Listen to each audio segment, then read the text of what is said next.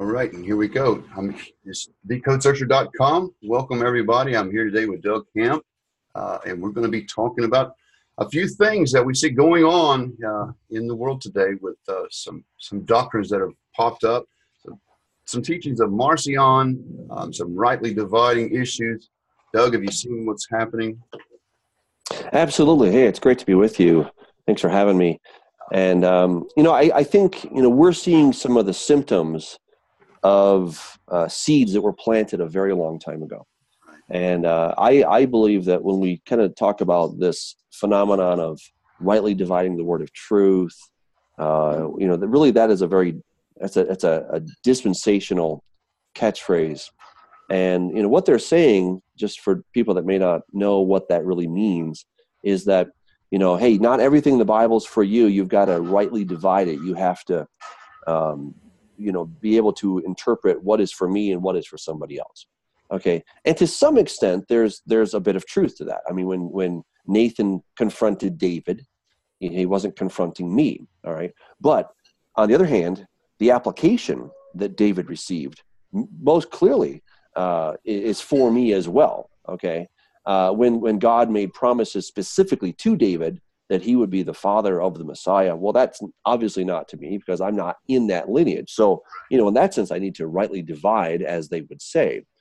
But but we're not talking really about those kind of issues. What what they're going to say is that when it comes to rightly dividing, there's you know they would even some of the more extreme would even say that many of the teachings of Jesus, our, our Lord and King and our Savior, uh, do not apply to us because he was speaking to the Jews and not to me. And so, therefore, what happens is they'll say, well, Paul is our apostle, Paul is our spokesperson, and what he says does not apply to me.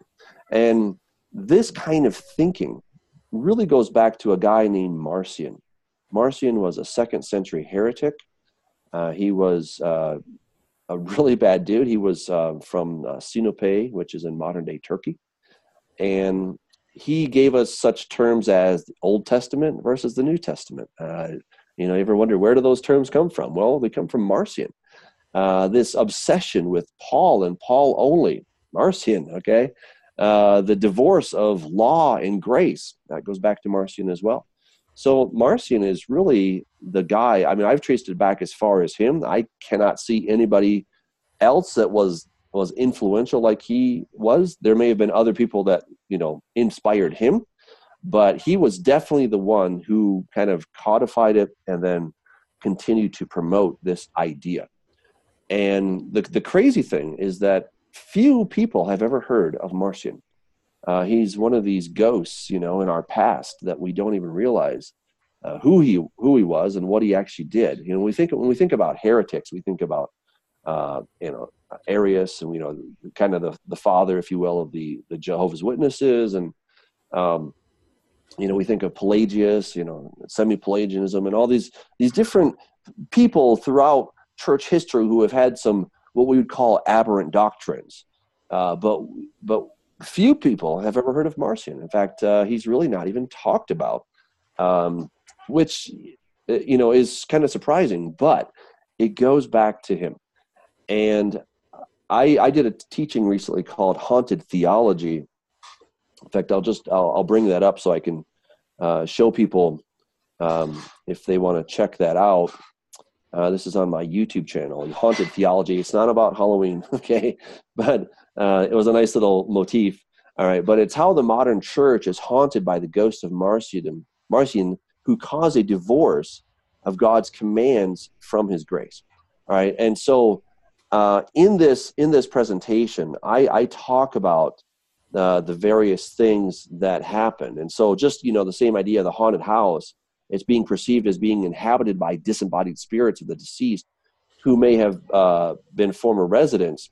So too, we have a haunted theology. It's inhabited by a spirit of the second century Mar- Mar- um, heretic named Marcion. Okay, and so you know you've got these examples that are just you know it's like taking your fingernails to the chalkboard for me you know i see that you know jesus nailed the old law to the cross and you there you've got the 10 commandments um you know behind nailed to the cross and so this is where this comes from from marcion Yes. I did not realize that. Yes. Well, this this, this notion that that he that you know this nail, the law was nailed to the cross is absolutely antithetical to what Jesus said, and it goes back to this guy, you know, and so you know this guy says that conclusively, um, conclusively without any doubt, um, that the entire law, that is the law of Moses, the Ten Commandments, including the Sabbath, was abolished, passed away, and cast out. I mean, wow, right? And, and then I included a meme here, or not a meme, but a uh, a screenshot from somebody who sent me uh, this word, and she says that I'm a Gentile, so Paul is my apostle. The law of the Old Testament and the four Gospels don't apply to me. Mm. I don't worship on Saturdays. I don't slaughter lambs when I sin, and I am free to obey the Lord because of love, not law. All right. So, you, so there you see this this uh, this sentiment that people have that you know that uh, the you know the first two thirds or three fourths of their Bible does not apply to them, and even the Gospels, right? You're like, wait a second, Jesus must apply to you. No, nope, Jesus doesn't. The teachings of Jesus do not apply. Certainly, the sacrifice they would clearly say the sacrifice of Jesus, but as far as the uh, the teachings of Jesus do not apply to us. What? I mean, this is ridiculous, right? Yes. And you know, so so Marcion he rejected the entire uh, Hebrew Bible, also known as the Tanakh or the Old Testament. Uh, he rejected all of that because it was Jewish. He rejected the four Gospels, except he did take parts of Luke and the parts that looked Jewish or sounded Jewish or had a reference to a Jew, he cut those out. He literally took his scissors and he cut those out of his text. So his the entirety of his Bible was portions of Luke and then 10 of the epistles of Paul. Uh, three of them were not in there First, Second Timothy, and Philemon, if memory serves, or maybe either Philemon or, or Philippians, if memory serves me. But I think it's Philemon. But in any event, um, he, those were not in his Bible. And so now you, you kind of get this idea. And I'm, you know, when I first discovered this, I'm like, wait a second, I've heard this sermon before, right? Uh, I've gone to churches where every week Paul says, Paul says, Paul says, Paul says, and you're like, okay, look, I love Paul, you know, great guy. But Paul did not die for my sins. Paul did not create the world. Paul did not dictate what's supposed to happen. Paul did not tell me how to live my life. You know, Jesus is the guy for me, right? right. Jesus is the one who was the who was the Word incarnate, who took on flesh, who went to the cross, who died and rose again. Hallelujah. That's the one that I serve, okay? Because he was before all things. And as John said, that I'm unworthy to untie his the straps of his sandals, right? Because he was before me. That is the one that we serve. He's the one that we pledge allegiance to, not Paul and and I'll tell you, I've shared that with some people here and there, and I've gotten this look of disgust, like, how could you possibly say that? You know, like I just spit on their mother's grave or something, and you know, they're like, well, wait a second, how could you say this? Paul's the greatest thing ever, and I'm like, look, I love Paul, but Paul is not my savior. He is not my savior, and I do not pledge allegiance or loyalty to Paul. And so Paul needs to conform to what Jesus said. And I believe that Paul did, in fact, conform to what Jesus said. He was misunderstood and still misunderstood today. That's right. Absolutely. Yeah. So, so you know, kind of the uh, the issue that, that you brought up of uh, you know rightly dividing the tr- the the word. Uh, you know, obviously Paul said that, and and I and again I agree with everything that Paul said, but I think that Paul's been misinterpreted, and I think his words have been twisted, so that now what happens is we we have Paul and we pit Paul against the the old covenant, you know, and so now you've got Paul who's who's giving this message of liberation from the old covenant, from the Old Testament, from you know let's call it the the the the Tanakh, right, the Torah, the Nevi'im, the Ketuvim, right, the Hebrew Bible and so there's this sense that you know that nobody else had that. Nobody else understood what paul was really getting at. Um, you know that, that paul alone knew the truth. And that is just absolutely disgusting you know? Um, i don't know how else to put it or to put it very nicely but it's such an aberrant doctrine. Uh, let me just share another thing with you that um, uh, you know this has kind of definitely gotten some media attention. This is uh, Andy Stanley, and uh, Andy Stanley says that the Old Testament was not the go-to source regarding any behavior for the church. That's right? because Paul, even the disciples, they were quoting from the other other side. Exactly. Right. You know, so how did this happen? you know, and then he goes on. He says, first century church leaders unhitched the church from the worldview, value system, and regulations of the, notice, Jewish scriptures. Peter, James, Paul elected to unhitch the Christian faith from their Jewish scriptures. And my friends, we must as well. Wow. Where did this come from? You know, and he's not the only guy to say this. Um, you know, we have the likes uh, actually uh, Albert Mohler is is uh, uh, defending against what Andy Stanley was saying. I won't go into that right now, but we have uh, Joseph Prince who is who is kind of saying the same thing. He says you cannot put law or grace and law together, right? And you're like, wait a second. Notice he says the law is not for you, the believer. It's not for you, the believer. And uh, I have another guy who quoted, you know, says the law is a unit comprised of 613 commandments, and all of it has been rendered inoperative. There's no commandment that has continued beyond the cross of the Messiah. Oh my goodness, right? I mean, this is just, oof. Uh, it kind of makes you sick, right?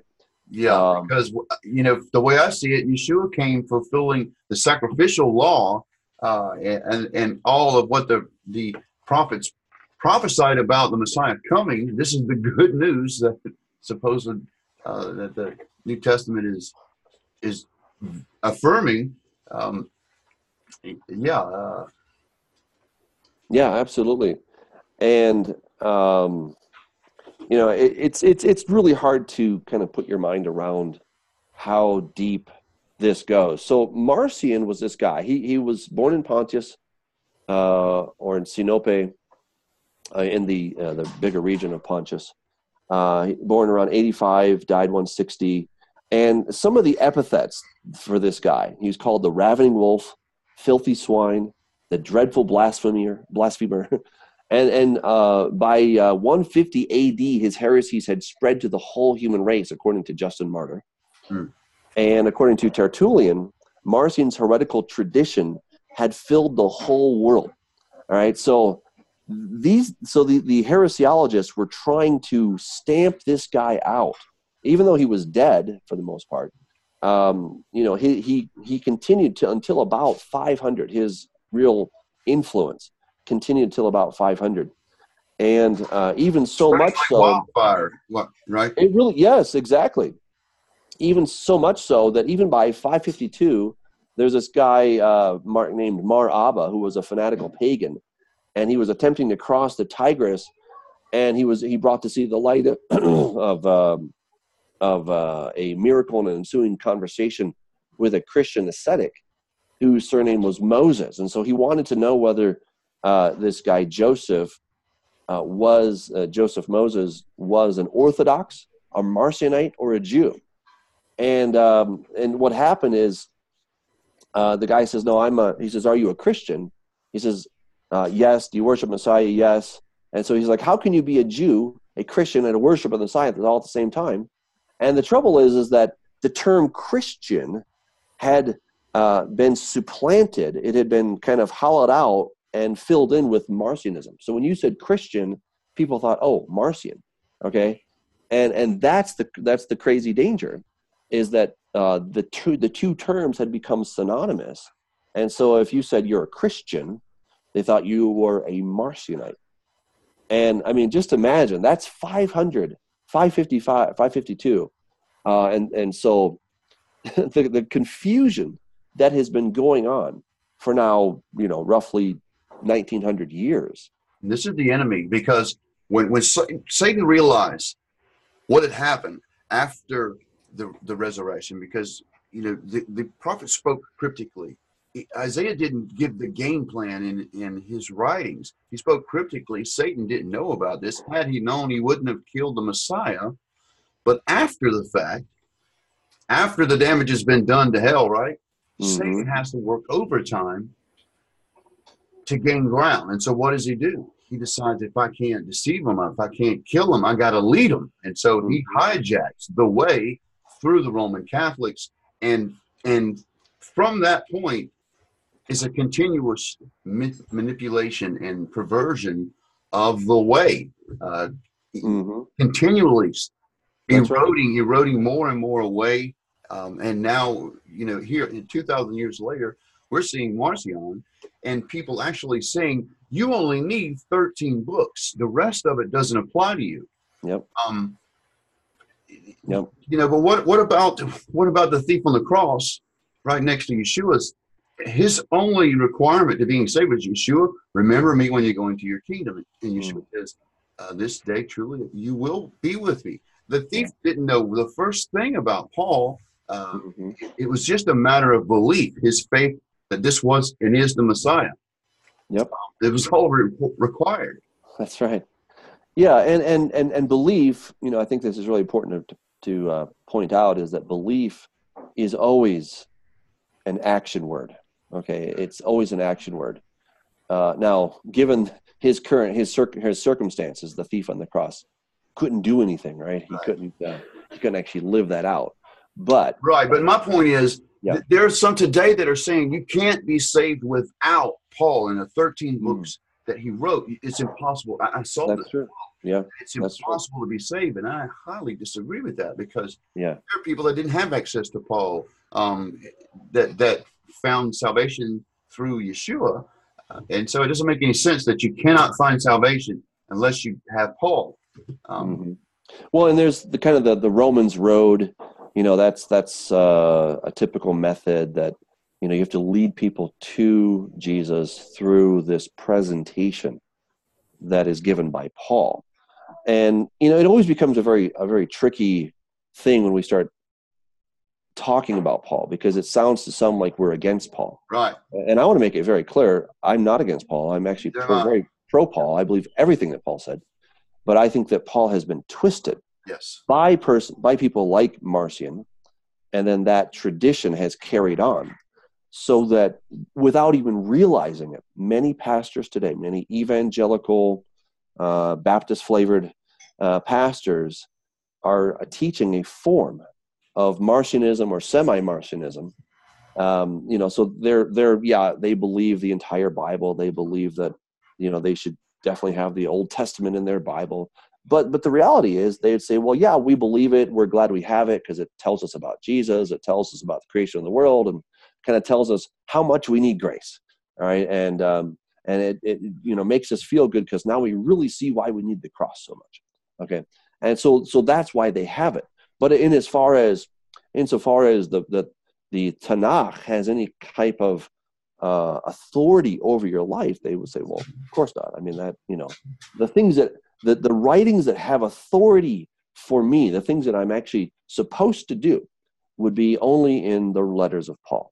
And that is truly, uh, it's just, it's, it's truly uh, shameful uh, and very saddening as well.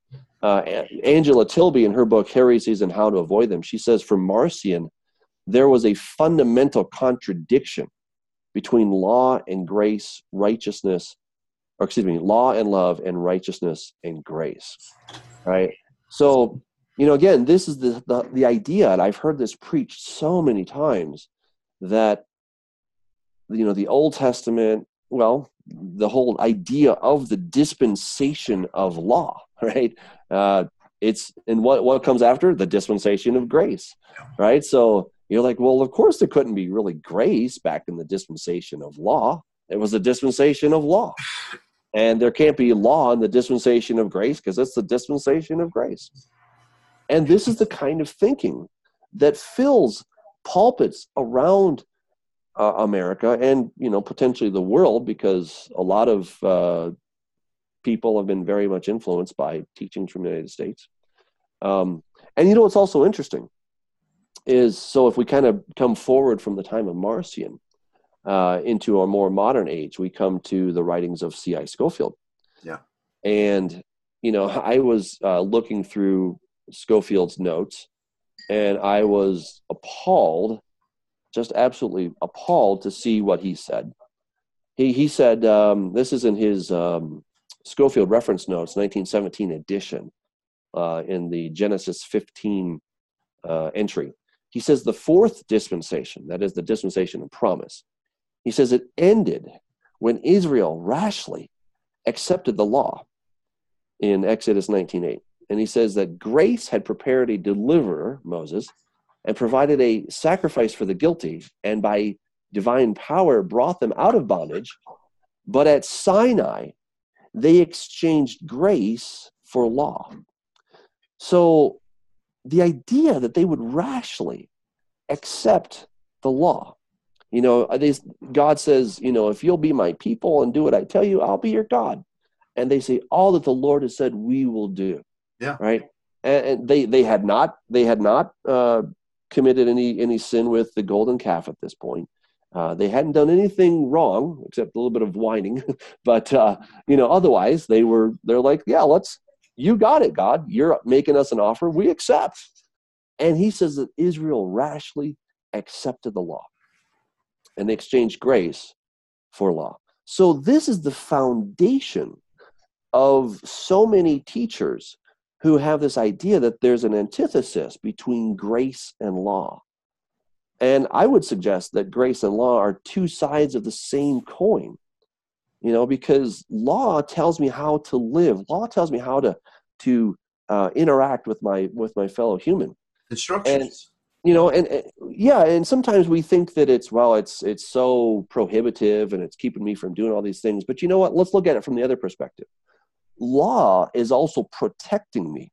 Law is giving me confidence that I can walk down the street and I have a pretty good certainty that I'm going to make it to my destination because law is protecting me from thugs. Law is protecting me from murderers. Law is protecting me from from bandits and etc you know it's not to say that people won't ever break it but there is a law that says that you just can't do that. If you act in a certain way you will be held accountable for your actions. You know so if we think it's bad now if we think we're in a lawless condition right now in america and and granted we do see people being shot and lots of bad things but imagine if we had no laws. Imagine if if there you know there was no consequence for those kind of wrong actions then people will do it all the more right? Because they would not be constrained. So the law is actually a, a, defense for the weak. It's a defense for the helpless. It's it's a it's a form of love by constraining my neighbor who might not be so nice to me. And you know and so then but then if i break the law if i do something that's wrong it turns out that there is grace.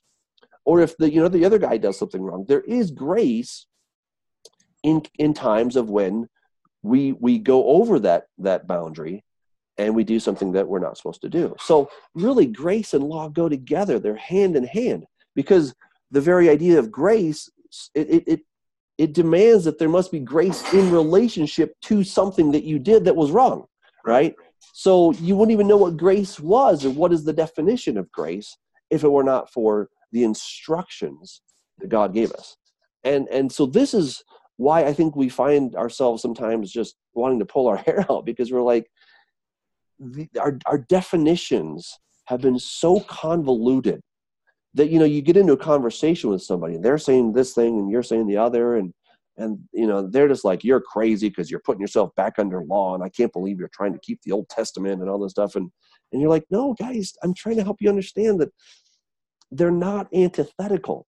And so the trouble is we're not really you know having these arguments with people about the bible. We're we're trying to get through that filter of marcion right and because same thing and because most people on, on both sides of this of this discussion don't even know who marcion is then we really can't put our finger on what is it we're actually divided about, you know? And, um, and, and that, of course, is the, the challenge, and that's where we find ourselves. Incredible that even this this long, almost two thousand years, um, and we're and you're right. You can't put your finger on it because you don't know where the source is, what what happened, and where it came from. Um, but but there are those throughout the line that kind of picked it up and, and even gave it uh, a rejuvenation in, in its life, like Scofield. Um, and I find it interesting that each one of these uh, that have done this, um, from Marcion to Scofield, are highly anti-Semitic, uh, which I saw this in uh, the, the, the brother on YouTube who has um, rejected anything Hebrew, anything Jewish. We don't want to Judaize, right? And has gone the, the full on Marcion only, I also call it hyper Paulism, where it's just 13 books that you need, uh, which mm-hmm. is just blows my mind that we're in this state today uh, mm-hmm. where the enemy is so cunning and mm-hmm. so good at deceiving people, he has convinced them um, to throw away three quarters of the book and not mm-hmm. even consider it. Um, the, the King James onlyist, um, again, the, the, same person says, if you don't ha- if you don't have the King James, you don't don't know that the word is rightly dividing, um, mm-hmm. because in, in other places it's it's it's uh, uh, you know handling the word appropriately, um, not mishandling the word when um, when you're interpreting. Um, but only in the King James it says rightly dividing, and uh, the blame was thrown off. I've been using the wrong Bible. Uh, I've been deceived by this Judaized Bible, mm-hmm. and I, I found this to be just absurd. That that you know you throw the the whole restoration movement under the bus, and that's why I see it uh, as a restoration back to the the the Hakalah, the way.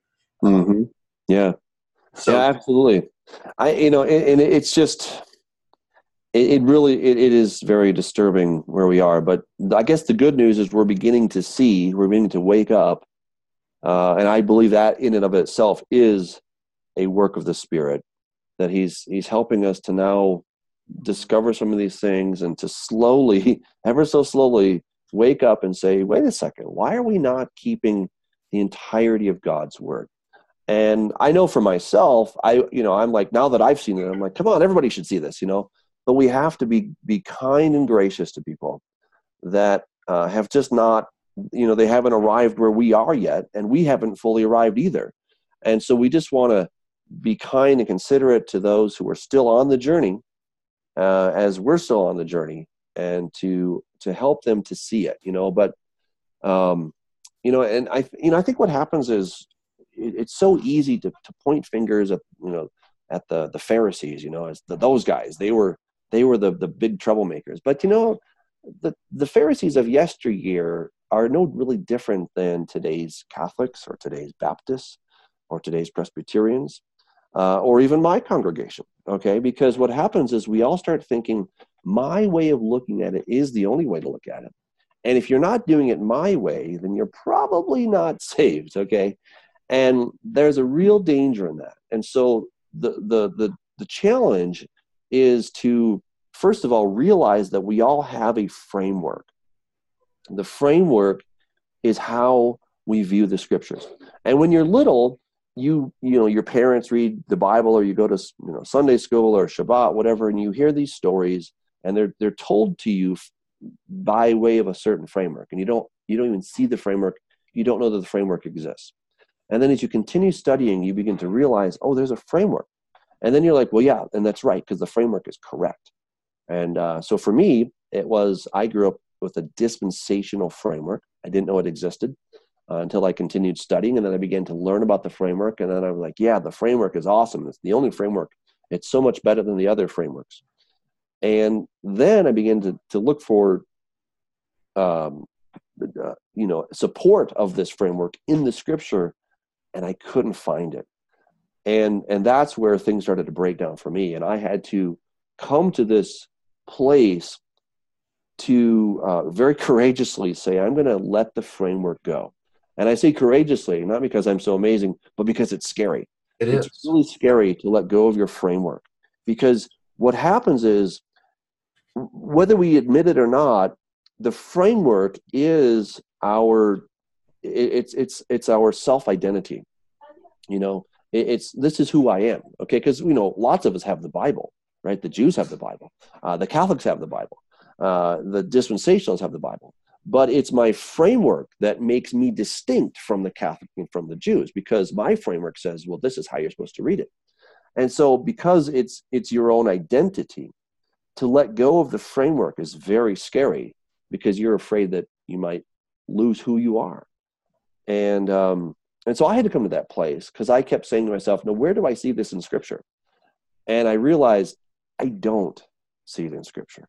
And so I had to let go of it. But you know, so it was scary. But the good news on the flip side is that once I, I let it go and I kind of grieved over that whole process, because you nobody wants to admit that they've been deceived. Nobody wants to admit that, geez, I've been hoodwinked. Um, but once I got over that, then all these other things just started to pop out of scripture. And I'm like, oh my goodness, this is beautiful. It's wonderful. God is so much bigger than I, uh, that my framework would let him be. Uh, he's so much more gracious. He's so much more kind. Um, you know, and, and, on and on and on it goes. Uh, but then you also see some sides of, oh, but he actually is expecting me to do this, and he's expecting me to, you know, to to be obedient. Okay, you know, if I love him, I should be obedient to him, right? And so it's both liberating, but it's also a little bit constraining in other areas where you you let go of your certain framework. Uh, and let me just share this as another thing from Scofield Um, he says this in his reference notes. He says that grace is the kindness and love of God our Savior toward man. Okay, I agree with that. And he says, not by works of righteousness which we have done. He quotes from Titus 3, 4, and 5.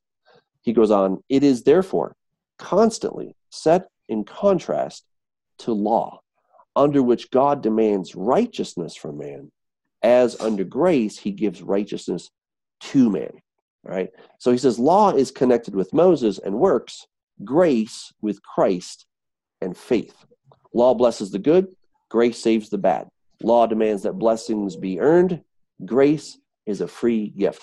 Now, that kind of teaching is is so dangerous because some of the things he, he's saying are, are true. The kindness and love of God. With truth.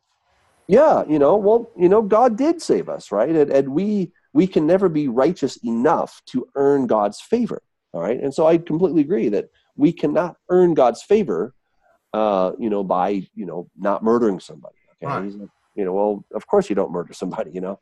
And so realizing that we have favor with God because of his grace is incredibly important. But then he, he contrasts it and he says it's constantly in contrast to law and that God is demanding righteousness from man. But see, that is a false dichotomy. It's an absolute false dichotomy because it's not that God is demanding righteousness from man, demanding for what purpose? In order to have a relationship with him. And see, that is the false uh, dichotomy that he's created. Think of it this way. Let's say I, uh, I'm you know, a good man and I decide to adopt a, uh, a foster child uh, this foster child has had many issues. You know, he's not been a great kid. Um, he's had a hard life, and so I adopt him. And I tell him, "You're you're now my son, okay? And I love you just because I adopted you." And and so now he is legally mine. I'm to care for him, and I love him, and I do love him. Uh, but in his mind, he keeps thinking, "I've got to earn my father's love." Right? And so he's always trying to do things and whereas my natural born children aren't trying to do those things because they just, well, they know they grew up in my house and I love them because I love them, right? But this adopted child, he's now trying to earn this love until one day it occurs to him that he doesn't have to earn my favor. He already has my favor, all right?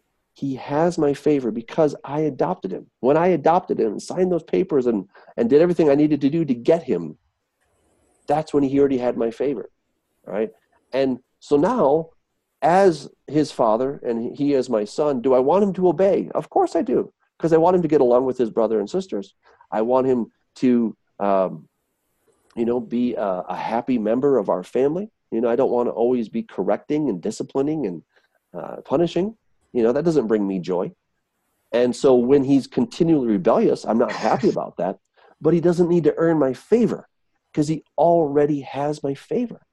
You see? And so this is the part that dispensationalists are missing is that, yes, the favor is completely a gift. We cannot earn that. We don't deserve it. We don't work for it. But because we have our Father's favor, we want to be obedient because the obedience is good for us.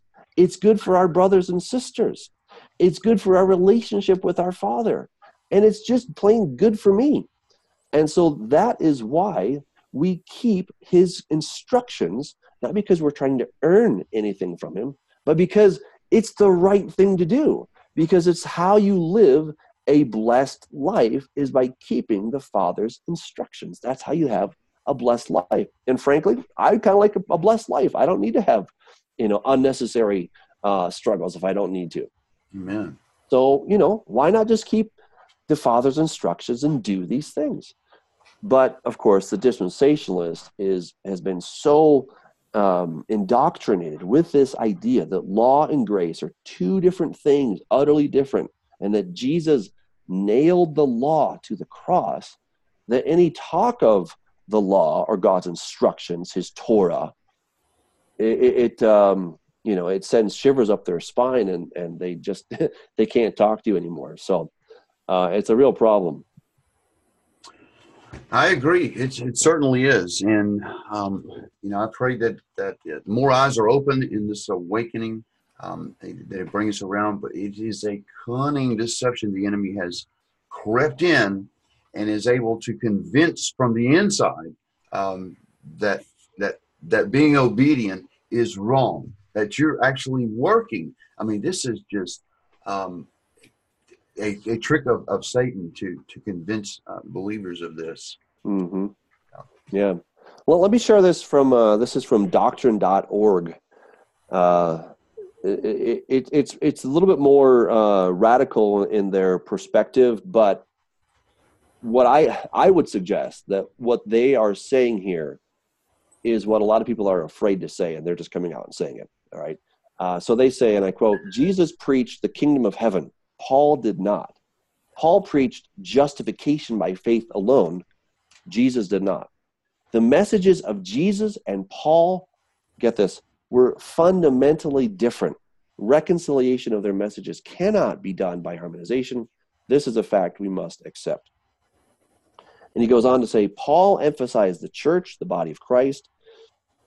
This terminology was entirely absent from the teaching of Jesus and the 12 and unknown until the ascended Lord revealed it to Paul. It was new. Peter, James, John, Jude, etc., did not teach it and knew nothing of it until they learned it from Paul. Paul alone revealed and taught that the citizenship and position of believers in the body of Christ was heavenly, not earthly. For Paul, God's kingdom, as related to the body of Christ, was heavenly and wholly different from the earthly kingdom proclaimed by John the Baptist, Jesus, and the 12. End quote. All right. So Paul, ha- Paul and Paul alone had a teaching that was fundamentally different, fundamentally different from what Jesus was teaching. Now, think about this. Uh, let's just you know take it from a uh, a CEO's perspective, or you know, a kind of a, a leader of a business. Are you really going to go into a company and you're going to invest three and a half years of your life, and you have this this group of men or, and women around you and you're pouring into them you're teaching them you know day after day you're teaching them all of your insights and your secrets and how to have a successful business. And then you get you go you know you take a sabbatical right? And then you tell this other guy some other method of doing business which is completely different from what you just invested three and a half years doing and then that guy is going to go and tell the ones who spent all that time with you, learning directly from the master. And and now you're supposed to believe this other guy who was never there and just got this revelation and now he has the truth. Right? But this is the the mentality that people have about Paul. And that's why Paul uh, sadly uh, becomes the default authority Yeah. for the for the Christian, not Jesus, not Jesus, but Paul. even trumps him sometime. I've, I've seen in some cases where um, they will cite Paul and trump what Yeshua said um, as if Paul had the final authority um, because Paul was given something new. Um, Mhm. and, and it's just it's just mind blowing. Um, Yep. people have, have arrived at this. Um, hmm I, I guess I can understand where you know the, from the deception, um, but personally, me, I just can't see it when I read. Um, I see Paul pointing us to the Torah. Uh, you know, he was he was not abandoning his um, his beliefs and, and his traditions. He actually kept the feast. He kept he did as Yeshua did, and what did Yeshua do? He kept the feast. He kept the Torah. Uh, and what he didn't keep was the Talmudic laws, the the uh, the laws of the rabbis. This Right. the requirements of you know you must put on your left sock first and your left shoe first and then your right shoe and then your left uh, uh, right sock and you I mean it's by the numbers. You're washing your hands in an order. Uh, uh, Mhm. These things that are added Right. these are the actual laws that Yeshua uh, came against, not the Torah. And, and some Christians will say, well, you see, J- Jesus came against the Torah. He was making fun of the Pharisees about washing hands and all this kind of stuff. And they think that this is in the Torah, and it's not. This is the part of the Talmud. Right. Yeah. The the real problem is that they don't know the Hebrew Bible. Right. They Right. just don't know it. Um, there's a, a, a gross ignorance on the part of most Christians of the Hebrew Bible, uh, also known as the Old Testament. And Because and why? Because, the they've been from it. Yeah. right. Because there's a bias against it, and I used to have that bias. I remember that. I used to have that very same bias, thinking, well, you know, I'm sure there's great stuff to learn in there, but it's not really as good, you know, as the New Testament. The New Testament's the Christian thing, that's for us.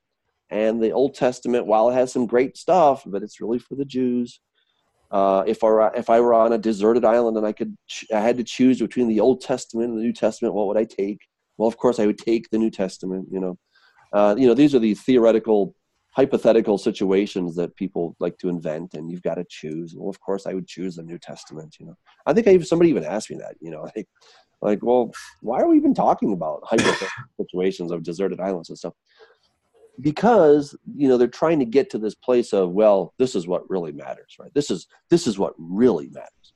And, and that and in the jewish uh, terminology we call that the halacha and that is that which you walk by. Halacha means to walk or walking. And so you know what you know how do you actually you know live your life? What are you know the things that you do uh, the laws that govern you okay? Not just theory not just ideas but what do you actually do and what must you do as a believer? And uh, and so what's again what's happened is they've thrown out the entire tanakh. Where did this idea come from? Did it come from paul? No absolutely not. It came from this dude marcion right? And he's an i mean it's just absolutely disgusting. Let me let me just share something with you again um, this is from that same uh, teaching that i did called uh, haunted theology. And uh, you know I, get, I think the shock value is something that we need to just take a look at it. So this is from uh, timothy s. Morton. Uh, he's got a, a, website preserved truth. And uh, he says the new testament did not begin until after the crucifixion. Get this. So the new testament the, the new covenant did not begin until after the crucifixion which i guess is true and, and but this, but and all of the material found in the four gospels applies doctrinally to Jews under Mosaic law. This is important to remember. Until Matthew 27 50, when Jesus yielded up his spirit, etc., the Old Testament was still in full effect. So everything that is said before then must be placed in proper context. Thus, nearly everything, nearly everything Christ said before the cross applies doctrinally not to us Gentiles, but to the Jews in reference to their kingdom. talk about putting a wall of separation up between us, right? You know, didn't Paul say the walls come down? But no, we're putting this thing back up, man. And he says dispensationalism has the responsibility of clearly proclaiming the great differentiation between Jesus' kingdom gospel prior to Calvary and his post cross heavenly gospel. If Paul's heavenly gospel were not other than that of Jesus' earthly kingdom gospel to Israel, he would naturally have been instructed by the apostles who had been with Jesus all during his earthly ministry. But on the contrary, uh, the apostles who had been taught by Paul concerning much of the new heavenly truth. My goodness. But, you know, he's not the only guy. Uh, so here we have uh, Douglas Stauffer. Now, again, I, I, I always want to be careful because I think Douglas Stauffer is a, a, nice gentleman. I think he loves the Lord. Uh, I just happen to disagree very strongly with some of his uh, conclusions. And he wrote this in one book, Rightly Divided. Okay, so speaking of rightly dividers, um, uh, this is exactly what we're talking about. And so, uh, Dr. Douglas Stauffer, very intelligent man. He's written 10 books. So, you know, he is uh, a, a voice that would, uh, you know, is kind of has some authority in this area to kind of speak on this message. But he says uh, that Paul is the church's only apostle. And this is just like Marcionism. He says, he asked the question Is God's direction for us today found in Matthew, Mark, Luke, or John, or in Hebrews? God's specific directions for the church are found predominantly in the 13 epistles that God used Paul to pen for the church age. All right, and of course, we know what those are. And then he says, Jesus preached the gospel of the kingdom during his earthly ministry. He instructed his apostles and disciples to preach the same gospel. No Bible believing preacher today preaches the kingdom or the gospel of the kingdom. He preaches instead the gospel of the grace of God. All right, so now we've just been uh, accused, if you will, of not being Bible believing preachers, okay, because uh, I, for one, I want to teach the gospel of the kingdom. I want to do what Jesus did, not necessarily what Paul did. I want to do what Jesus did. And so he's saying that, you know, I and probably you as well are not Bible believing preachers, okay? Because we're teaching some other gospel. And isn't that what we hear? You're teaching some other gospel, Doug. How, how can you do this? And he goes on, he says, there's a big difference between the gospel of the kingdom and the gospel of the grace of God. They differ in their main message. The former talks of a king reigning, while the latter speaks about trusting in the Savior who has sacrificed himself by shedding his blood on the cross of Calvary. The kingdom gospel, Matthew, Mark, Luke, and John, will go back into effect after the church age. That's after the so called rapture, uh, the pre trib rapture. And he says that most of the Bible's not for the believer. Paul is a standard of doctrine and not Jesus. Oh man, I just, you know, I, I want to just, you know, cover my ears and run for cover. Um, he says the key to application, so long as particular scriptures do not contradict the apostle Paul's explicit instructions to the Paulism is what I'm talking about here, man. This, this yeah. Paul trumps everything. That's exactly right. That's exactly right. So as long as it doesn't doesn't contradict Paul, then they can have church application. He's, so by determining who our spokesman is, we will know where to go to find our instructions for living today. Unquestionably, our spokesman is the Apostle Paul. That's according to Dr. Douglas Stauffer. Okay. And he even gives us some really cool graphics to drive home this point. All right. So you can see here, you've got the Old Testament, you got Noah, Abraham, Isaac, Jacob, Moses, Joshua, Samuel, David, Solomon, there before the cross. All right. And then we have the readiness of the Gospels, Matthew to John. Okay. These are not for us either. And then we have the tribulation until the second coming of Jesus. These are not for us either. All of those books, you know, Revelation, Hebrews, etc. Those are not for us. And he says, Here, we are here, right? This is the little dot on the map. We're here. The church age, Romans to Philemon, these are the only books that apply to the church insofar as doctrine is concerned. All right. And I mean, it's just, oh my goodness, right? Paul uh, is the, the spokesperson to the church. And if it contradicts Paul's teachings, it cannot be church doctrine. But notice what our Irenaeus said, okay? Irenaeus, way back um, uh, third or fourth century. He says, with, with regard to those Marcionites who allege that Paul alone knew the truth, and that to him the mystery was manifested by revelation. Let Paul himself convict them when he says that no, that one and the same God wrought in Peter for the apostolate uh, uh, of the circumcision and in himself for the Gentiles.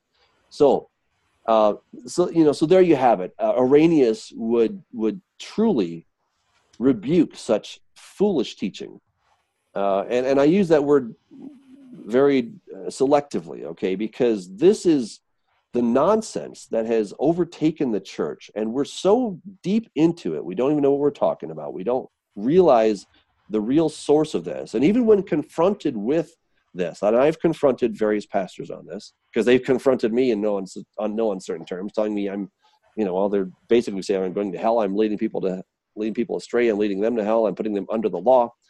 And I'm like, well, what do you do with this? They're like, oh, that's not me. That's no, no, that's that's no, that's different. That's convenient. Like, well, that is so convenient. Just to just to because we can't reconcile this over here. We might as well just cut it out because this doesn't belong to us. That's too convenient to to do that. Yeah, absolutely. You know, but when when once you see the roots of of, of where this came from, that it's coming from Marcion, that um, you're like, whoa, this is really scary stuff.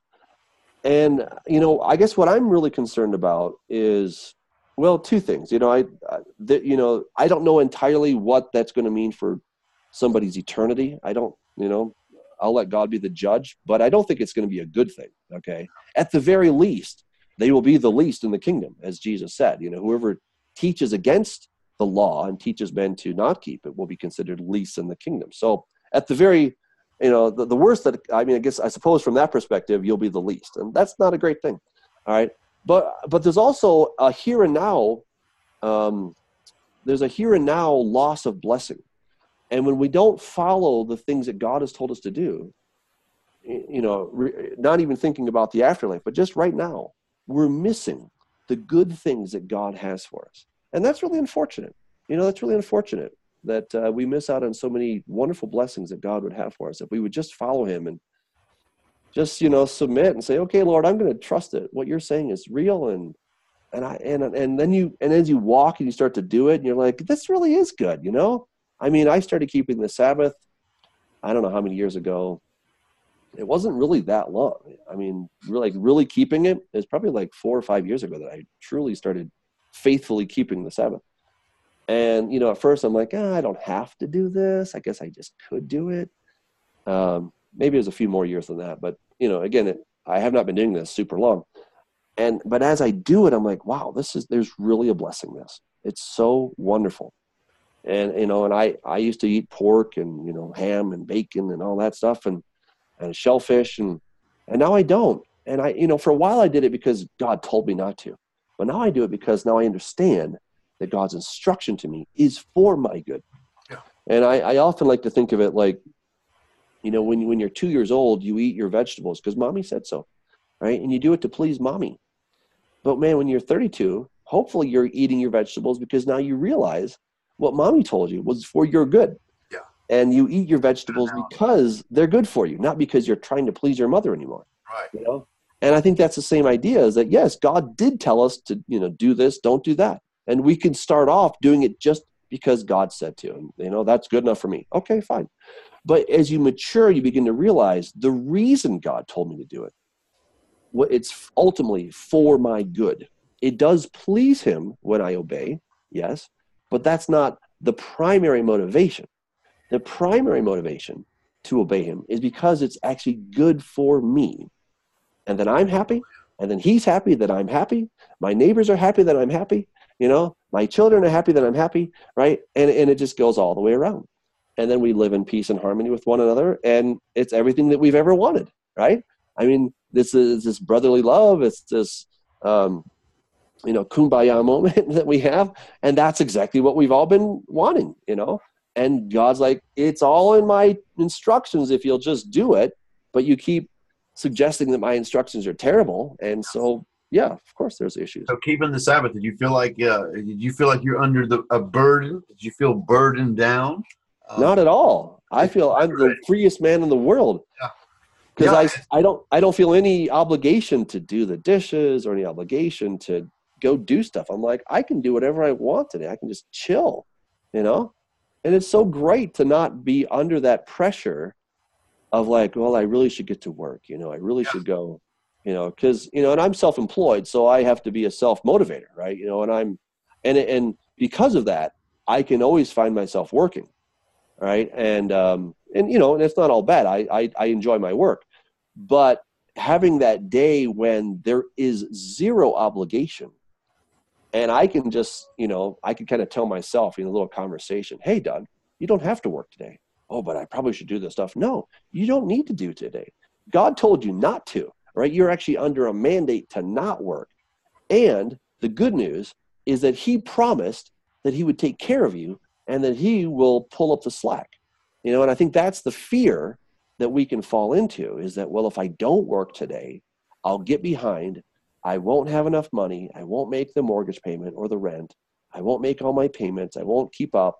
I'll fall behind and god's like no no no trust me in this if you will keep this day i will give you a double portion on this day and and and see that's where ultimately what we're kind of doing is we're slapping god in the face saying you know god i don't believe you i think you're a liar and I don't trust you to do what you said you're going to do. And so I'm going to work today because if I don't, if I don't look out for number one, nobody, nobody will. will. Yeah, and I see that mentality in a lot of people. Is if we trust the Father, His promises will will manifest. And and you're right.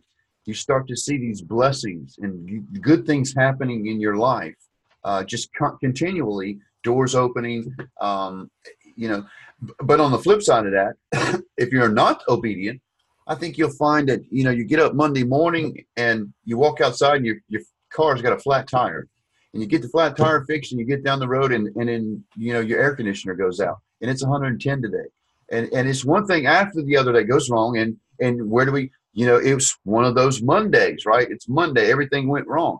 Really, is it is it that or is it how you're living? Is it are you giving him your life? Have you surrendered over to him? right? And and and starting your day out praising Him um, and and walking in His way, uh, because He said, if you do this, this these blessings will happen. If you don't do this, well, these bad things will happen to you. You'll get sick and you'll have sores and you won't have any rain. Your crops will fail. Your animals will die. And all of these bad things will happen if you don't, if you're not obedient, uh, right? So, yeah, absolutely. That's absolutely. And again, the obedience leads to peace and joy and a sense of security and ultimately love right i mean you know it, it's one thing if you have a, a, household and you have children and and you you tell them that you love them and that's good but they're going to really know that they're loved when there's peace in the house when they know that there's security and they're not always worried about you know being thrown out on the street or that there's some terrible dire consequence you know? And so i think that's part of it is that as we're obedient to our our father and we have this just this this this quiet sense of peace you know and just we're at rest Amen. we're at rest you know and I, I just I don't know how to say how to say you know like that is truly what the human heart is looking for we're looking for peace right? We, we, we enjoy excitement and there's times for thrills and action, but we can't exist forever in that kind of environment. We have to be in this place of ultimately that we find rest, and we find peace, and we find uh, just tranquility, because that's what our soul is looking for. And the only way to find that is in righteousness. You know, we can pursue the ways of the world and sow our wild oats, and it's all exciting. But after a while, you get tired after a while you just cannot keep up with that kind of lifestyle and and and you're going to then run back and the only way to find it is in is in righteousness and god's righteousness and and what we mean is not the righteousness that he dumps on you but the righteousness that is found in walking out the lifestyle that he has prescribed that's where we find that and you know let me just say this that even the idea of righteousness, and we talk about Christ's righteousness, um, it's one of these these twisted ideas that um, that somehow you know Jesus takes this bucket of, of paint, paint of righteousness and he just kind of dumps it on you, right? And now I'm righteous because he's made me righteous. And when the Father looks at me, he just sees Christ's righteousness. I mean, I've heard that sermon many times too, right? And um, and so, you know, again, I get where they're coming from because I'm forgiven. Granted, I'm forgiven, and so I'm not having to earn His favor. I've been granted His favor, but but God, Jesus doesn't make me righteous. He he he forgives me, mm-hmm. right? That's what He does for me. And if I blow it again, he says that he is faithful and just to forgive us all of our sins okay but righteousness and here it's really simple test uh, he who walks righteousness righteously is righteous right that's what first john says right it's simple you have to do acts right? Uh, micah 6 8 he has shown you oh man what is good and what the lord requires of you to do justly love mercy and walk humbly with your god. I mean nothing has changed that it's it's upon me to do righteously. And it's not something that happens to me. It's not something that god pushes on me. You know and i, I used to go out on the streets. I used to do a lot of uh, street witnessing and and i would use the isaiah 64 uh, to tell people how unrighteous they were and they didn't have stand a chance and if they didn't call upon god's mercy they were done for and so i would i would use this passage from isaiah 64 where um, you know, he says that all of our righteousnesses are as filthy rags, right? And and the word there is the same word that's being used of a a woman's menstrual rag, you know. And so you're like, oh my gosh, that's really nasty. Okay, and and so the, so there's this idea that it doesn't matter what I do, God looks at my righteousness as as filthy rags. Okay, and and it, and it wasn't until several years ago that I it finally occurred to me. I'm like, oh my goodness, I've been reading that wrong this whole time because I was reading it that there's nothing I can there I cannot uh, do anything righteous. All right, I have to just receive God's righteousness. And I realized, no, that's not what he's saying. What he's saying is that my righteousness is as opposed to God's definition or standard of righteousness. And as you look through not only the book of Isaiah, but the book of Hosea, the book of Jeremiah, Ezekiel, all of them, what they're talking about is that Israel, specifically the 10 tribes of Israel, and, and Judah to some extent as well, but, but they were pursuing their own righteousness. They were pursuing a righteousness apart from, in contrast to God's righteousness. And what is God's righteousness? The Torah, right? It's, it's, the, it's the, the instructions, the commandments, the statutes, the same statutes that God was bragging to Isaac, hey, Abraham, your father, he listened, he obeyed my voice, he kept my charge, he kept my commandments, my statutes, and my instructions. He did these things. That is the righteousness that we're talking about.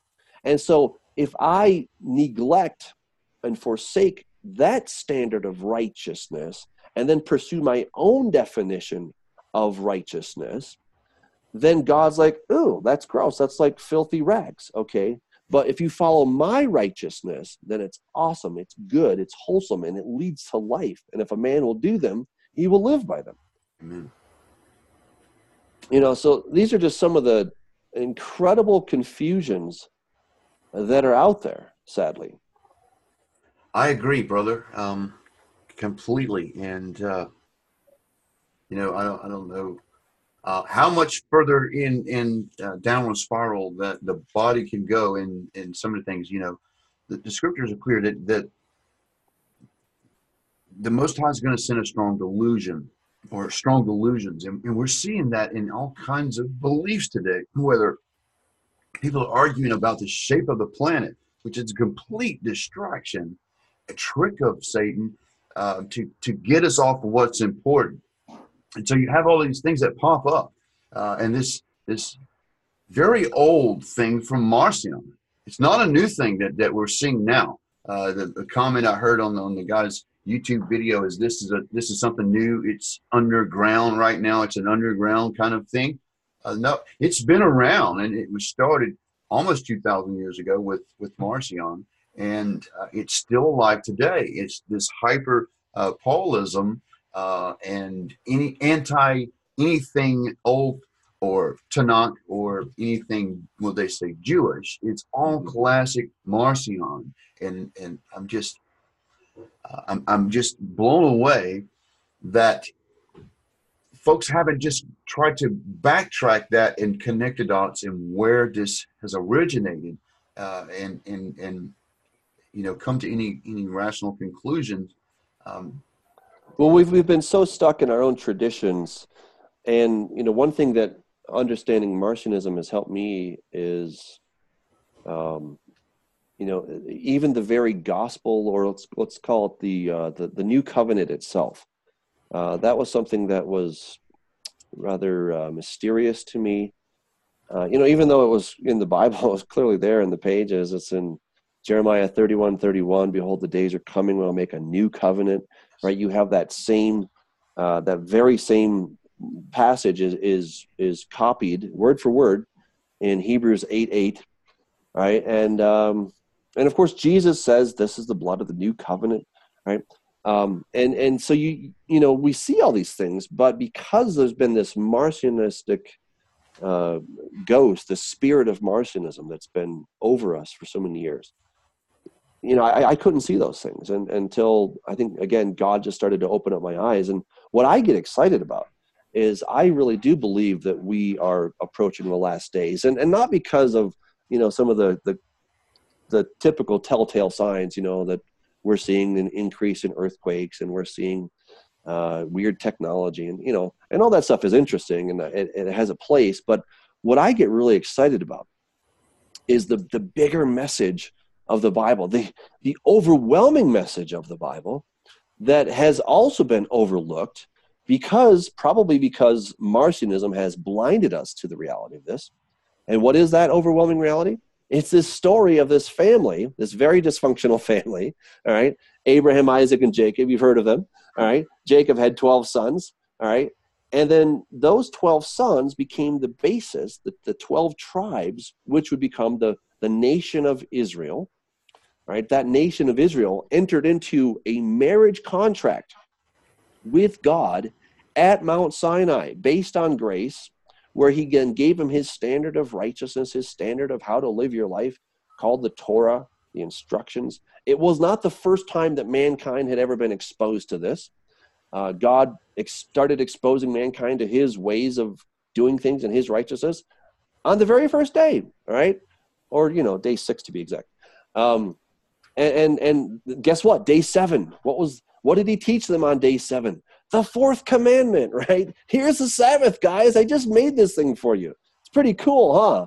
You know? So that was the first lesson they got is the fourth commandment. Wow.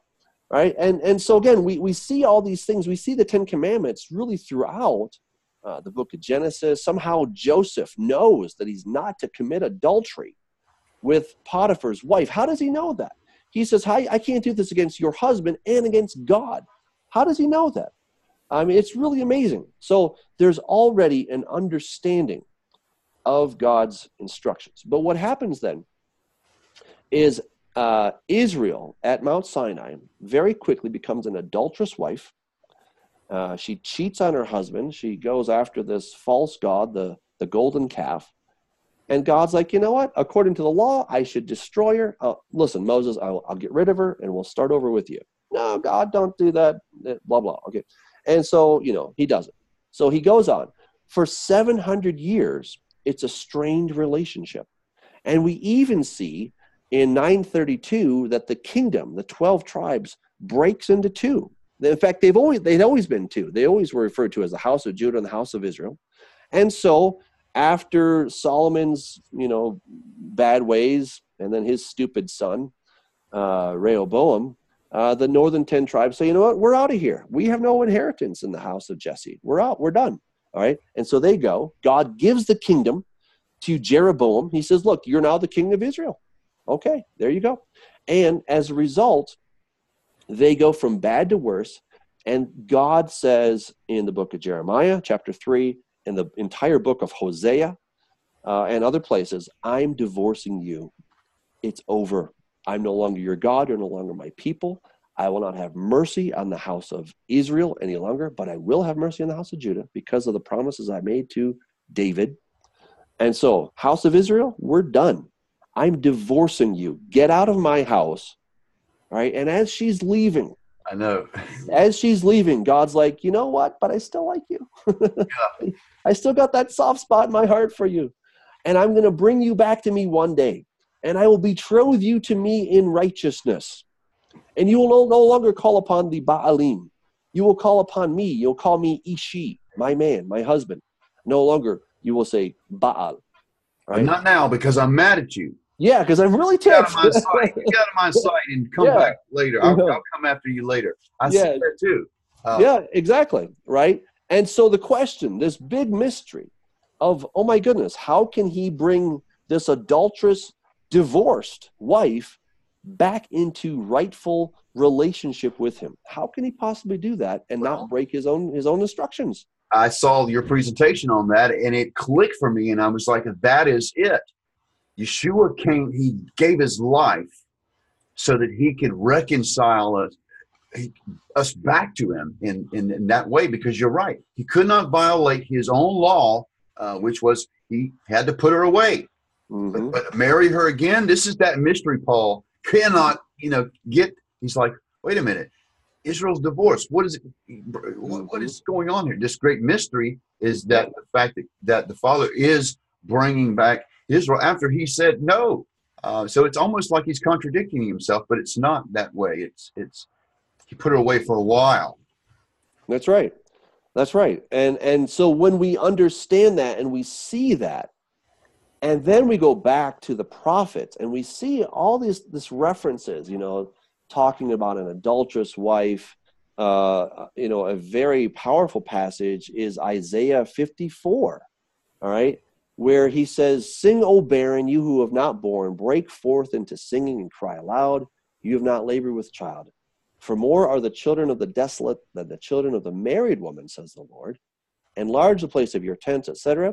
And he says, um, do not fear, for you will not be ashamed, neither be disgraced, for you will not be put to shame. For you will forget the shame of your youth, and you will not remember the reproach of your widowhood. For your Maker is your husband, the Lord of hosts is his name, and your Redeemer is the Holy One of Israel. He is called the God of the whole earth. For the Lord has called you like a woman forsaken and grieved in spirit, like a youthful wife, when you were refused says your God, For a mere moment I have forsaken you, but with great mercies I will gather you. All right, so what's he getting at? Well, what's interesting is when we understand that God said very clearly in Hosea chapter 1 I will no longer have mercy on the house of Israel, but I will have mercy on the house of Judah. And then he went and divorced the northern the northern kingdom, the 10 tribes. Um, so that's all the tribes except for Judah, Levi, essentially, and Benjamin. Okay. Levi is kind of a, a half C, right? He doesn't right. totally, totally count. But essentially, Judah and Benjamin and some Levites in there. So he divorces uh, the other 10 tribes. He says, I am not your God. You're not my people. Get out. And he divorced them. Now, it's interesting that Paul quotes from this very same passage in Galatians chapter 4, right? And isn't it interesting that he would bring our attention to this very same passage? It's almost like Paul gets it, right? yes. Yes, Paul does get it. That's what's so powerful. In fact, he really gets it in Romans chapter 9. And uh, he says in verse uh, 24, he says, uh, Even us, whom he called, not of the Jews only, but also of the Gentiles. As he says in Hosea, I will call them my people. Call who? The Gentiles. Okay. I will call them my people who were not my people, and her beloved who was not beloved. And it shall come to pass in the place where it was said to them, You are not my people, who did he say that to? To the northern kingdom. There they shall be called sons of the living God. And he goes on, uh, Isaiah also cries out concerning Israel, not Judah, but Israel. Though the number of the children of Israel be as the sand of the sea, the remnant will be saved. All right, and and so now with this understanding of what he's getting at, and let me just say that Peter makes the same uh, statement in First Peter chapter two. He says, uh, "Who were once not a people, but now are the people of God, who had not obtained mercy, but now have obtained mercy." God spoke those very things to the house of Israel in Hosea chapter 1. In Hosea chapter 1, he says, God said, Call his name Lo Ami, for you are not my people, and I will not be your God. Right? So he's talking to these northern tribes. And so now Peter gets it, Paul gets it. What they're understanding is that the Gentiles coming back in are the remnant of the house of Israel. And who were they at that time? Let's let's let's clear that up for everybody. Is they'd gone north into to those areas above the Asia Minor and into Greece. Um, you know, in Daniel's statue, you got uh, Nebuchadnezzar, Syria, and Greece. Greece was uh, under under Alexander the Great had ruled that area. And one of the things about Alexander the Great was he liked to assimilate people into his kingdom. He didn't just he didn't destroy you and change your name like Nebuchadnezzar would do change your identity. He integrated you in, right? You became Greek. You became uncircumcised. You became. Well, it goes back even further. It goes back to the the Assyrian kings, right? Mm-hmm. Um, so in second Second Kings chapter seventeen, uh, it says, Therefore the Lord was very angry with Israel and removed them from his sight. There was none left but the tribe of Judah alone. So there again, we see this very clear contrast between Israel and Judah. And uh, of course, you know, Judah had their issues as well. But he says, uh, the Lord rejected all the descendants of Israel, afflicted them, and delivered them into the hand of plunderers until he cast them from his sight. For he tore Israel from the house of David, and they made Jeroboam the son of Nebat king. Then Jeroboam drove Israel from following the Lord and made them commit a great sin, or great sin. For the children of Israel walked in all the sins of Jeroboam, which he did. They did not depart from them until the Lord removed Israel out of his sight, as he had said by all his servants the prophets. So Israel was carried away from their own land to Assyria, as it is to this day. Then the king of Assyria brought people from Babylon, Cuthah, Ava, Hamath, and Sepharvaim, and placed them in the cities of Samaria instead of the children of Israel. All right, so so here we see that he took the people of Samaria, etc., and he removed them, and then he put other people in their place. Right? So he he took them away. He took them far away. He removed them from his sight and uh, God says he removed them from his sight. So the, the king of, Israel, of uh, Assyria took them away and placed them in other lands. And yes, they were assimilated. Now, I, I think that definitely some of them went north, some of them went uh, went west, but we we um, uh, I think some of them went east as well. And you know, it gets a little bit little murkier as you know the further out we go but we do have these very clear statements that they have gone all over the place. In fact, Daniel says this very thing in Daniel chapter 9. Daniel's confessing the sins of his people. He says, We've rebelled and committed iniquity. He says, um, O Lord, righteousness belongs to you, but to us, shame of face, as it is this day, to the men of Judah, so we know who those people are, to the inhabitants of Jerusalem, and all Israel, those near and those far off in all the countries to which you have driven them because of the unfaithfulness which they have committed against you. So let's think about where were the inhabitants of Judah? Well, some of them were still in Judah, all right, and uh, you know some never left. Uh, the but but many of the inhabitants of Judah and of course Jerusalem were taken captive by Nebuchadnezzar. They were taken where? to Babylon. No other place. They were taken to Babylon. Right.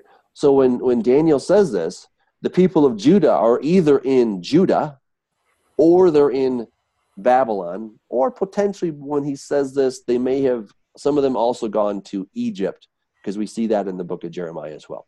But otherwise, that's where they stayed. They didn't go anywhere. Uh, they weren't, you know, in all these other countries. And so then he says, and all Israel, because he's still making a distinction mm-hmm. between Judah and Israel. And so now you have all Israel, those near and those far off in all the countries. And then when you when you when you hear that, let me then take you to this gets really exciting to Ephesians chapter two. Uh, Paul talks about this this uh, commonwealth of Israel. He talks about uh, we who were the first to believe. Uh, speaking of, I believe the the Jews, the, the Judah, and then he says in verse eleven, therefore remember that you once Gentiles, okay, that is a non-Jew, who are uh, called the uncircumcision by what is called the circumcision made in the flesh by hands. At that time you were without Christ, being aliens from the commonwealth of Israel and strangers from the covenants of promise, having no hope without God in the world. Why? Because God said, You're not my people. But now in Christ Jesus, you who were once far off have been brought near by the blood of Christ. He uses the same phrase to speak about these Gentiles, these people of the nations who are far off. Far off from where? Far off from where they used to be, right? And and so now because they were not God's people, um, and He did not have mercy on them, and they just were scattered into the nations, into the Gentiles. They became one with the Gentiles. And so now they were far off, but now they can come in and they can be part of what? They can be part of the commonwealth of Israel. It's really amazing when it all just comes back together. And, you know, so, you know, just kind of sum it up Marcionism has clouded our vision so that we couldn't see it. But once we kind of get rid of that, then you know the scales fall off, and we're like, oh, oh, I can see this other thing now, and I can see this mystery that has been hidden from my eyes, even though it was in plain sight, but I could not see it. You know, in fact, I tell you, the one of the biggest, most humbling revelations to me was I was reading through Romans chapter 11, where Paul says that blindness in part has happened to the Gentiles, or to the Jews, excuse me, to the Jews, or, um, sorry, to Israel, has happened to Israel until the fullness of the Gentiles comes in. All right. And so I used to read that. Well, you know, the the the Jews they can't see. You know, they just can't see. And then I was thinking about it. I'm like, wait a second, Israel, Israel. I'm like, oh my goodness, wait a second. I think I'm part of Israel. And then I'm like, oh, that means I can't see. And then I was like, oh lord i'm sorry. You know there i was thinking that well you know we christians can see but you jews can't see a thing right? Because you've been blinded. And you know and they have but so have we. That's the the shocking and scary thing about it. We well the stumbling block was for both houses too you know the stumbling yeah. block that, that that's right. inserted. Um, mm-hmm. it's amazing because I, I, I saw the same thing. Um, this the fullness of the, of the gentiles coming in um, and the great awakening that it seems like it happening uh, happened for a lot of people in around 2009 2010 um, and then you go and start calculating what uh, actually was prophesied in ezekiel 4 uh, we've run the course of that curse um, and now what, what happens? The scale starts falling off. We start realizing wait a minute um, i'm not who i thought i was. Mm-hmm. i used to think i'm this this group called the church. But wait a minute, we're yeah. actually these northern tribes. And when mm-hmm. you do the math, brother, you can find out from the Bible that roughly there's about 7 million Israelis that went into diaspora in uh, 722. And they were the final ones that went out. Now, mm. over over 2,740 years, the exponential growth of that many people is insane. We're talking about hundreds of billions of people. That's right. Uh, even with the world wars and Holocaust, mm-hmm. all that we've had, we still have hundreds of billions of people that are the remnant, the descendants of um, mm-hmm. these tribes. Mm-hmm. And so, uh, the Holy Spirit gave me an image of how to how to convey that, and that was taking a pitcher of water and ice and dropping 10 drops of blue dye in that and giving it one stir to, to represent movement. Yep. After a few cycles of that, what happens is that blue encapsulates everything. It becomes all blue. And Yep. so that's why we see the scriptures say, go to the four corners and Mhm. gather in my harvest, because that's what's happened. They've we have literally filled every country from the darkest of the darkest person to the most Asian of, of people and everything in between. You are Israel. hmm And this makes sense that, you know, that, you know, you, that God so loved the world that he gave his only begotten son. But then you have Yeshua con- contradicting that, saying, I only came for the lost sheep of Israel. Well, hmm this is a mystery, uh, it seems, because um, this grafting in, the Father was including the whole world in this this diaspora that He did with Israel, grafting in the world through uh, these tribes. Um, Yep. incredible. Yeah, absolutely. Uh, I was hoping I could pull up a, um, a little graphic I had. I, I can't remember which slide it's in, but um, but yeah, I, I it, just to underscore what you're saying uh, of um, you know these millions of people going out. Uh, an interesting number. I, I uh, have a friend Doug Krieger who calculated about 10 million. So uh, you know somewhere between seven to 10 million uh, House of Israel people, uh, Northern Kingdom, were sent into diaspora. Uh, obviously, some of them were killed, but some of them were not. You know, they were just taken away. And uh, and then what happens after that? Well, people do what people do, right? They get married and they Populate, they they grow. find yeah they find a pretty girl and they settle down and you know and and uh, and they don't care if she's Israelite or not because they didn't care in the first place, right? And so you know they're not trying to look for somebody who's of the same lineage and no, you just you're taken away sometimes forcefully as a slave and maybe you're given freedom, but you know you do what you just do what people do and you have you, settle down and have have a, a wife and children and and that's what happens. And so uh, anyway, I wanted to just uh, share some um, something that I found, which is if you go back just 40 generations, okay, and by generation this would be from parent to child, okay. So so take assume you know every generation's roughly 20 to 25 years um, in in that sense, okay.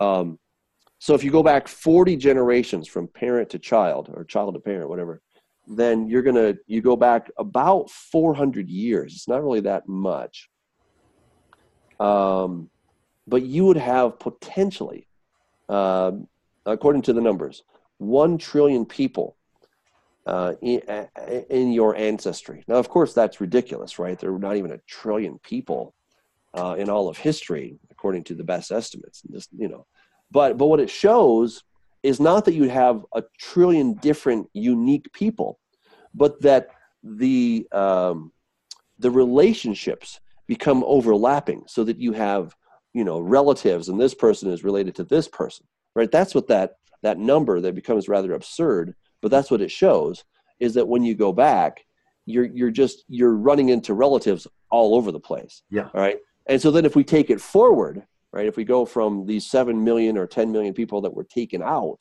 and then the potential for them to then uh, for their seed to then uh, literally go around the world does not really even seem that difficult at that point, Mm. right?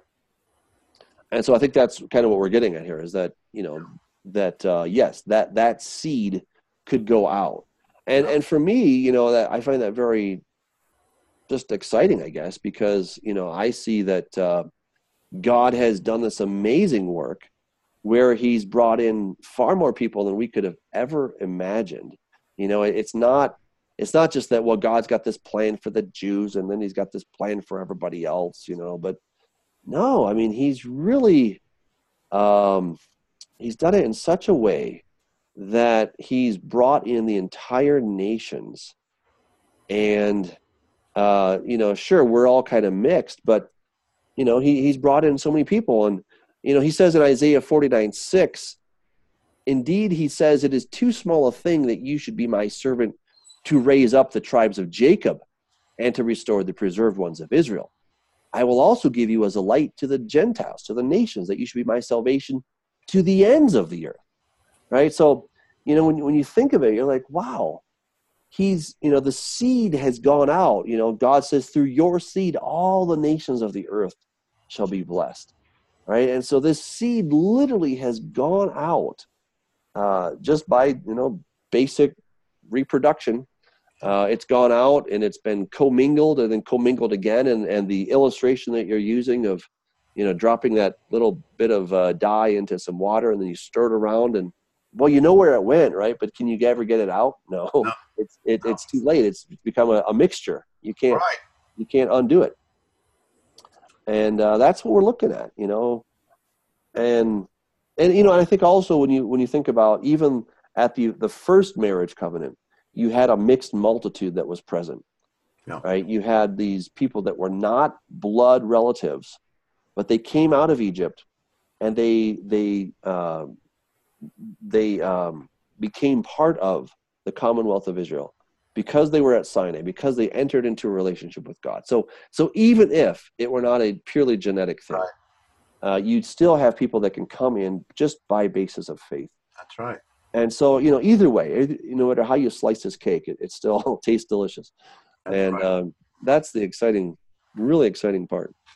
And um, great stuff, brother. We've gone two hours. I, I won't uh, ask you. I know you got plans today. Uh, if there's anything you want to say to conclude, uh, I appreciate you joining me today and, and helping, uh, you know, convey this message and helping uh, people to understand exactly what's going on with Marcionism, why we see this hyper-Paul um, uh, ism going on and what exactly it means. So I want to thank you for uh, for helping clear that up. Thank you. Thank you for having me. It's really been a pleasure.